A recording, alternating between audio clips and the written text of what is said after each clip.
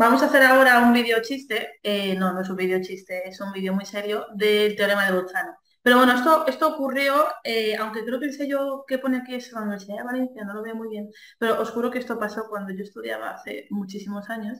Hay unas obras en la universidad y, y pusieron este cartel en el ascensor. ¿No? Y luego alguien, pues abajo, uno de mis compañeros, yo estudié matemáticas en la Complutense, alguno de mis compañeros puso abajo. Eso es imposible. Entonces vamos a contar por qué y vamos a ver el chiste matemático que puede que alguno no le parezca gracioso, pero en realidad es muy gracioso.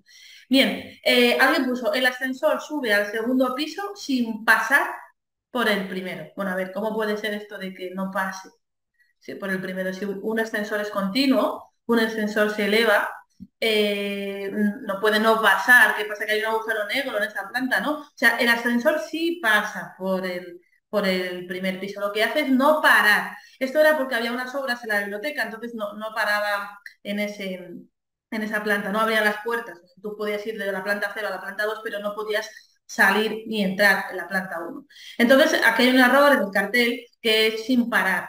Bueno, es una tontería, pero en realidad lo que dice el teorema de Bolzano, que es una cosa muy sencilla de entender, que parece mentira que tenga un nombre propio y que haya pasado a la historia, pero claro, es que las matemáticas están hechas de cosas evidentes que hay que demostrar eh, con, métodos matemáticos, ¿no? Entonces, lo que dice Bolzano es que si es una función continua, muy importante este hecho, aquí lo tenéis escrito, si es una función continua, eh, todos los teoremas que vamos a estudiar son para funciones continuas, pero si una función es continua en un intervalo cerrado y acotado, que es el ascensor, ¿no? Porque las plantas eran desde la menos 2 hasta la 4. Em, y tiene por un lado un valor negativo y luego un valor positivo, o sea, es decir, eh, con el ejemplo del ascensor, estamos en la planta menos 1 y queremos ir a la planta 3, necesariamente seguro que acabamos pasando por el cero.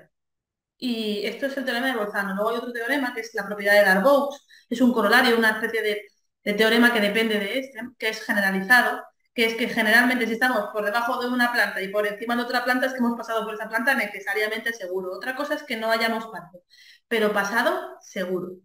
Entonces lo que dice es, la parte donde tenemos el primer punto, aquí donde tenemos el primer punto, esto parezco, parezco una Instagramer con este, con este vídeo, em, lo que tenemos en el primer punto es eh, las hipótesis, ¿vale? Las hipótesis son dos. Primera hipótesis que sea continua, segunda hipótesis que los valores a los lados del intervalo sean negativo o positivo o viceversa, positivo o negativo. Y el segundo punto es la tesis, ¿vale? Entonces, lo que aparece después de la palabra entonces suele ser siempre la tesis en cualquier teorema.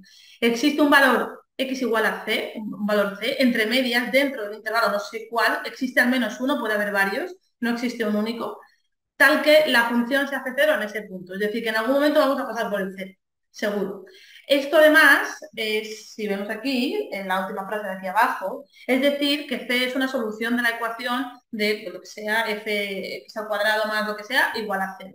Vamos a resolver eh, ejercicios en los siguientes vídeos que tratan el teorema de Bolzano. Entonces, recordar que en la facultad tenían razón y lo que pasaba es que estaba mal escrita el cartel. En realidad, como hubieran puesto parar, no habrían em, tenido este chiste fácil que hizo un estudiante con su folio pegado abajo.